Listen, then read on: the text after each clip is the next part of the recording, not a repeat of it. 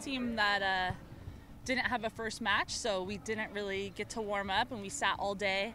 Yeah. So uh, I think we were really I was- nervous. I was so ready to play. Yeah, a little Yeah. nervous, but we'd been practicing for three days, so I just wanted to play a match. yeah, we were excited.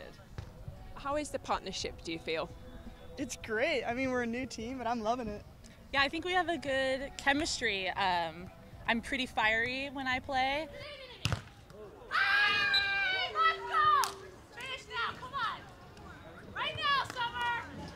And Summer's quiet, but I think I pull out a lot She of fire totally in pulls her. it out, yeah. So it's kind of fun, like back and forth. I've Uh, never really played like this with all the energy.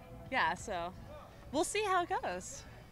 I know you've both been in Fuzhou before with different partners. How are you finding the conditions here? I like this weather right now. Yeah, the other day when we like this. practiced and it was raining, I didn't like that. But this is great right now. This Yeah. would be perfect if it stayed like this the whole tournament. Definitely. And what are your hopes going into the next days?